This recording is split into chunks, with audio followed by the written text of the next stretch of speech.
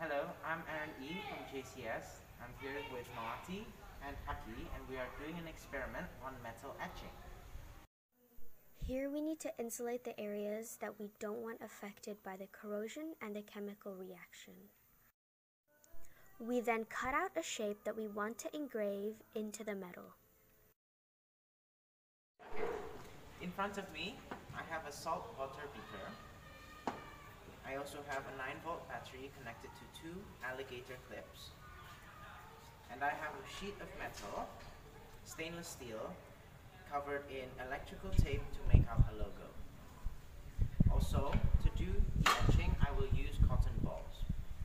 I attach the positive lead on the crocodile clip onto the metal sheet.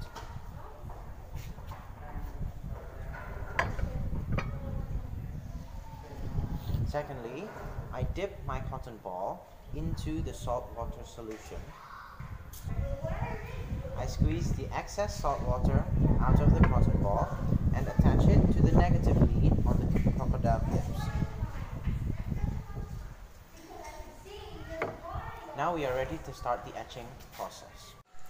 Now we press the cotton ball onto the metal sheet.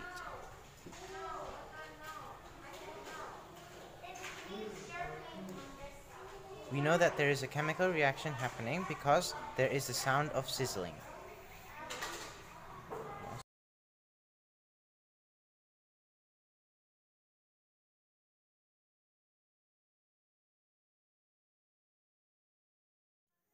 This formula is the basics of etching metal and can be used with many different examples.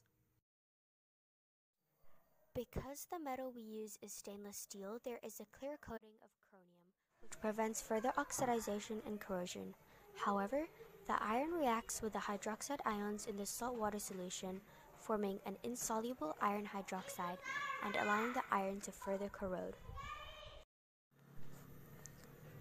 This diagram visually aids our description of metal etching. Please pause to view.